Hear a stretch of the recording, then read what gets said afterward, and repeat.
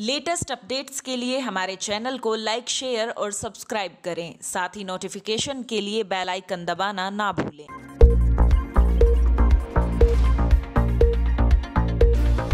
Corona virus का कहर इस समय दुनिया भर के साथ भारत में भी पैर पसारने लगा है।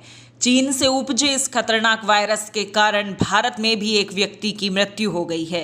इसी बीच कोरोना वायरस के बढ़ते हुए प्रकोप को देखते हुए हर राज्य की सरकार कोई ना कोई प्रबंध करते हुए नज़र आ रही है। बता दें कि कोरोना वायरस को दुनिया भर में महामारी घोषित किया जा चुका है। बहरहाल इसी बीच बता दें कि देश की राजधानी दिल्ली में इस खतरनाक महामारी से बचने के लिए केजरीवाल सरकार ने सख्त कदम उठाया है। जानकारी के मुताबिक दिल्ली सरकार ने एक बड़ा फैसला लेते हुए सभी सिनेमाघरों स्कूलों, कॉलेजों को 31 मार्च तक बंद करने का आदेश जारी किया है। हालाँकि यह भी बता दें कि जहाँ परीक्षाएँ चल रही हैं, वहाँ यह आदेश लागू नहीं होंगे।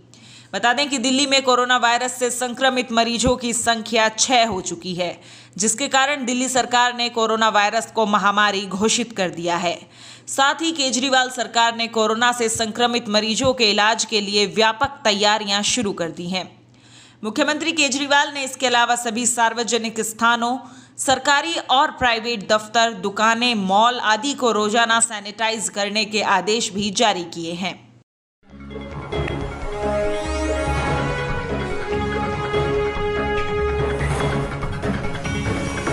Keep performing.